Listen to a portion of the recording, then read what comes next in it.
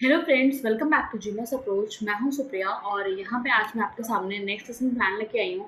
That is lesson plan 11 okay ये जो lesson plan है ये हमारा सब्जेक्ट जो है मैथमेटिक्स टॉपिक का रहेगा ओके okay, अगर आपने मेरे चैनल पे प्लेलिस्ट में ना देखा हो तो मैं मैथ्स और साइंस दोनों का आपका लेसन प्लान प्रोवाइड करती हूँ जो कि आपको बायलिंगुअल मिलता है ओके okay? हिंदी लैंग्वेज में भी और इंग्लिश में भी है। आपको जिसमें भी कंफर्टेबल हो, आप वहाँ पे देख सकते हैं। और मैं आपको बता दूँ, जो आपका लेसन प्लान होता है, ये आपके लिए काफ़ी हेल्पफुल है। अगर आप लाइक टीचिंग फ़ील्ड में हैं या फिर आप B Ed B T C ऐसा कोई भी कोर्स कर रहे हैं तो लेसन प्लान के थ्रू आप एक सिस्टमेटिक प्लान अपना तैयार करते हो कि हाँ आपको किस वे में टीचिंग करना है। ओके तो ये स्टार्ट करते हैं यहाँ पे। सबसे पहले आप करते क्या है? यहाँ पे आप अपना लिखते हैं name school name subject date duration period classes ऐसे करके ओके अब क्या आता है? अब आपको यहाँ पे आता है टॉपिक जो आपको टॉपिक यहाँ पे डालना है लेसन प्लान में, वो आप लिखेंगे. दैट इज़ जैसे यहाँ पे क्या है? ट्रायंगल एंड इट्स प्रॉपर्टीज़ ये जो लेसन प्लान है इस बारे में होने वाला है. ओके आप क्या करेंगे? अब आपका आता है यहाँ पे जनरल ऑब्जेक्टिव ये हेडिंग आप डालते हैं. जिसमें कि आप क्या करते हो? आप इसमें जो पॉइंट्स लिखते हैं, वो आपका सब्जेक्ट से जुड़ा हुआ होता है. ठीक है? मतलब आप क्या सब्जेक्ट पढ़ाने जा रहे हो? तो बच्चा पढ़ के क्या क्या चीज़ों को समझ सकेगा। लाइक like, आपका एम क्या है यहाँ पे? ऑब्जेक्टिव आपका क्या है? कि to develop the interest of students in learning mathematics to develop the abilities of imagination, reasoning, observation, then to develop the scientific approach in mathematics in the students and to develop understanding about the reality and apply them in real life. Okay, इस इस तरह से आपका last word हो जाएगा to enable them to get knowledge content in the lesson इस type से आप पाँचों पॉइंट्स को क्लियरली लिख लेंगे अब आपका मूव करती हूँ मैं नेक्स्ट पे ये आपका क्या है स्पेसिफिक ऑब्जेक्टिव ये क्या होता है ये आपका टॉपिक से जुड़ा हुआ है लाइक like, आप यहाँ पे पढ़ाने जा रहे हो ट्रायंगल्स, ठीक है? तो आपका एम क्या है कि जो बच्चा है वो पढ़ने के बाद ट्रायंगल्स टॉपिक के बारे में डीपली रखी चीज़ों को समझ सकेगा, जो आपने अपने इस लेसन प्लान में कवर किया है। Like students will be able to know about the properties of triangle then exterior angle के बारे में समझ सकेगा। उसके बाद to know about exterior angle property then angle sum property of a triangle then to find the angle of a triangle okay जैसे question दिया रहता है कि एक एंगल फाइंड करना, वो सब अच्छा समझ लेगा। एंड ऑल्सो इनेबल टू या पाथोग्रस्त है ये भी आपका बच्चा समझ लेगा। तो ये आपने ओवरऑल पॉइंट क्या रखे कि ये सारी की सारी चीज़ें को स्टूडेंट्स क्लियरली समझ सकेंगे। ओके okay, अब हम आगे मूव करते हैं। अब आपका हेडिंग आता है दैट इज़ प्रीवियस नॉलेज इसका सेंस क्या होता है? कि जो आप कंटेंट पढ़ाने जा रहे हो उससे बच्चे को पहले से कितना नॉलेज है? ठीक है? लाइक आपने यहाँ पे लिख दिया कि the students must have at least general familiarity with the triangle angle of a triangle open figure close figure etcetera फिर आपका यहाँ पे आता क्या है टीचिंग एड्स मतलब कि आपने क्या क्या इंस्ट्रूमेंट इस्तेमाल किए, क्या क्या चीज़ों का आपने इस्तेमाल किया है अपने टीचिंग में।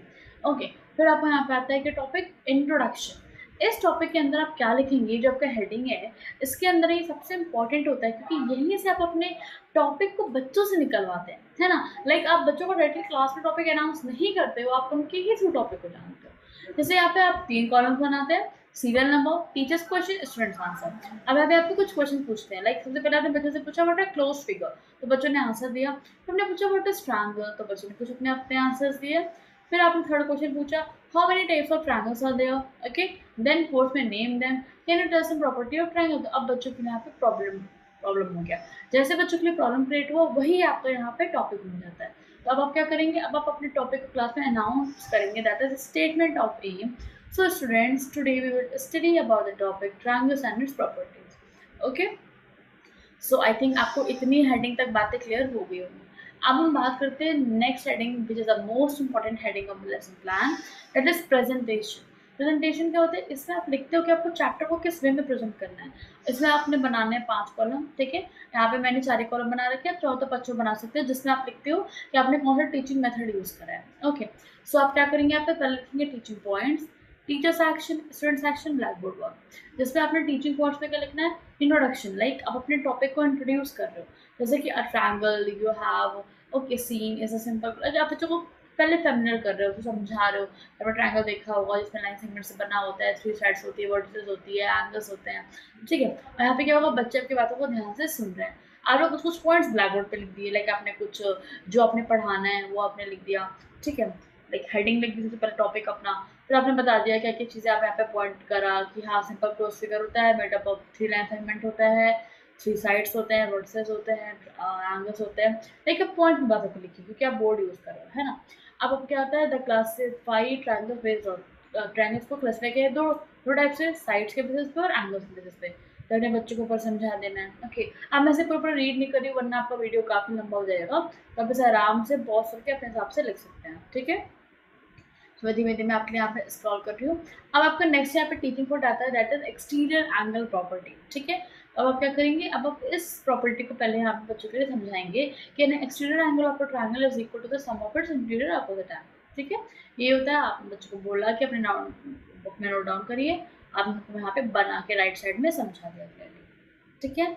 अब आपको यहाँ पे क्वेश्चन क्या आता है? फाइंड एंगल इन फिगर अब आपने क्या करना है? बच्चों को एंगल बताना है। कोई क्वेश्चन दे दिया बच्चों से कहा एंगल निकाल के दिखाइए।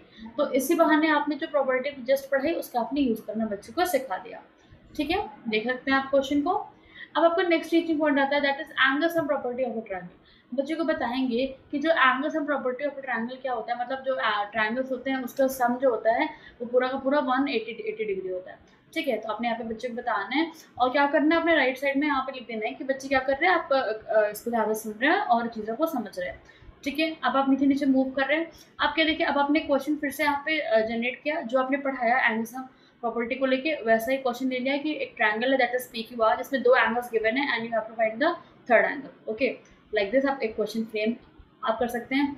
अब आपका आता है next teaching point that is two special triangles जिसमें आपने दो स्पेशल ट्रायंगल के बारे में बताने हैं ठीक है? ऐसा आप प्रॉपर यहाँ पे, लिख देंगे ठीक है? मैं से धीमे धीमे यहाँ पे स्क्रॉल कर रही हूँ ताकि आप नोट डाउन करके आराम से लिख सकें। ओके यहाँ पे आपने बता दिया आइसोसेलेस ट्रायंगल के बारे में इक्वेटर ट्रायंगल के बारे में, उसकी प्रॉपर्टीज़ क्या क्या होती है बोथ साइड से इक्वल होता है और साइड इसमें इक्वल होता है सब चीज़ें, ठीक है? अब हम लास्ट यहाँ पे अब आपका लास्ट टीचिंग पॉइंट है that is sum of length of two sides of a triangle ये क्या होता है? ये आपने पे बच्चे को बता देना है, ठीक है? कि कोई भी जो दो साइड्स होता है, उसका सम हमेशा जो लेंथ होता है, वो ग्रेटर देन द थर्ड आपका थर्ड साइड होता है। तो ये मैं स्लो में स्क्रॉल कर रही हूँ, आप यहाँ लिख सकते हैं।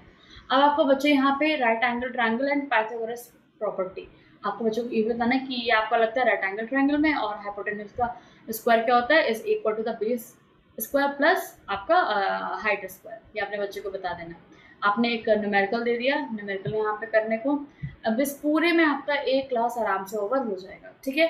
अब आपका नेक्स्ट हेडिंग आता है दैट इज़ रिकैपिचुलेशन जिसमें आप क्या करते हो, आप कुछ क्वेश्चन लिखते हो जो आपने बच्चे को पूरा पढ़ा रखा है, उसी क्लास के टॉपिक से रिलेटेड जो आपने क्वेश्चन पूछ लिए, और बच्चों को आपने चेक कर लिया कि कितने बच्चे आंसर बता पा रहे हैं। अगर बता पा रहे हैं तो बहुत अच्छा इसका मतलब उन्हें टॉपिक क्लियरली समझ में आया है, ठीक है? आप अपने तरफ़ से कोई भी क्वेश्चन लिख सकते हो, ज़रूरी नहीं है कि जो मैंने लिखा वही आप लिखिए। अब नेक्स्ट आपका आता है last heading that is homework homework में बच्चों को आप अपने अकॉर्डिंग कोई भी क्वेश्चन दे सकते हैं, बस इस चैप्टर से रिलेटेड होना चाहिए। लास्ट आपका आता है कमेंट्स ठीक है? कमेंट्स में क्या होता है? आपके जो टीचर्स होते हैं, वो आपको कमेंट देते हैं आपकी टीचिंग स्किल पे। ओके और लास्ट में आपका क्या है? Sign off paper teacher sign off classmate sign off supervisor okay so I hope ये आपको लेसन प्लान पूरी तरीके से क्लियरली समझ में आया होगा कि हमने किस तरीके से इसको फ्रेमिंग आपको समझाई है। ठीक है? अगर आपको लेसन प्लान अच्छा लगा हो तो वीडियो को लाइक करना बिल्कुल ना भूलेंगे। अपने फ्रेंड्स से ज़रूर शेयर शेयर कर देंगे चैनल को सब्सक्राइब कर लेंगे बेल आइकन ज़रूर प्रेस कर लेंगे, ताकि आपको नेक्स्ट वीडियो का नोटिफिकेशन इजीली मिल सके ओके और आपको मेरे चैनल पे प्लेलिस्ट मिल जाएगी प्रॉपरली लेसन प्लान की तो आप अच्छे से कंटेंट अपना रेडी कर सकते हैं ओके और अगर आपको कोई टॉपिक पे लेसन प्लान चाहिए हो तो कॉमेंट सेक्शन में ज़रूर आप कमेंट करें okay so thank you guys thanks for watching thank you